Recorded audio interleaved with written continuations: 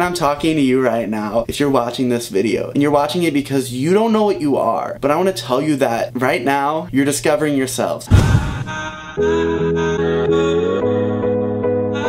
So I'm about to take you guys on a little journey of self-discovery and talk to you guys a little bit about how I had no idea that being bisexual actually existed until about my senior year of high school. And I know you're probably judging me right now and calling me this crazy person because how did I not know? And it's a little hard to understand because I didn't grow up in a big city like a lot of people. Really, I just bring it back to where I grew up, how I grew up, and just what I surrounded myself with with. There wasn't really a lot of talk about sexuality. I knew that gay people existed and I knew that straight people existed. But being bisexual wasn't really something that anyone discussed. In my family, in my friendships, at school, I never really saw it and TV shows really didn't explain it either and they still don't really explain it that much. So it's actually pretty easy for someone not to know that being bisexual exists because it's not talked about. It's not discussed in conversations. You don't get it at home, you don't get it at school, and and you don't get it through the media either. When I finally discovered that I was bisexual, it was because of YouTube, and it was because people discussed what being bisexual was like for them, and it really opened my eyes to this world that I didn't know existed. So I feel like me making this video actually helps people too. I feel like YouTube is a platform where you go and you see ordinary people that you can relate to, and you can take their stories and put it into your own lives. And I feel like that's what I really want to do with my channel, and what I strive to do every single day. So me telling you guys about my experience, how I finally discovered that being bisexual is what I wanted to associate my life with, and I feel like it's important for me to tell you that. So that's what we're gonna be doing. I feel like I've already done that though in this video, so mm,